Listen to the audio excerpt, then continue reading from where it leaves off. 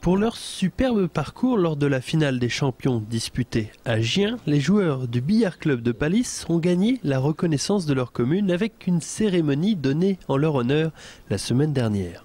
L'occasion de souligner encore un peu plus l'exploit réalisé par les Aubois puisque successivement, pour parvenir en finale, ils ont éliminé Rochefort, La Roche-sur-Yon, Dunkerque, Vannes et Blois. C'est vrai que c'est une fierté. Maintenant, euh, voilà, euh, c'est les plus beaux résultats qu'on fait depuis que le club existe.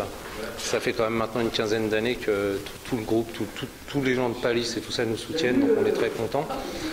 Euh, maintenant, une fierté, évidemment, perdre en finale, c'est pas toujours évident mais euh, on a quand même euh, réussi à faire euh, avec l'équipe qu'on avait, je pense, une belle performance quand même. Palis termine donc vice-champion de France à l'issue d'une finale épique contre Rennes.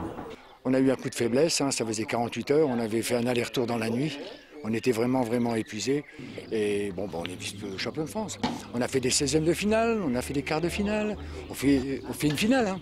Donc, bah, je pense que c'est bon pour l'avenir. Cette compétition aura permis de mettre en lumière le club de Palis, le petit pousset de cette finale des champions. Et comme une bonne nouvelle n'arrive jamais seule, les Aubois ont appris très récemment que grâce à leurs résultats, ils pourraient prochainement peut-être rejouer dans leur village d'origine où ils ne pouvaient plus jouer faute de billard. Une erreur qui sera bientôt réparée.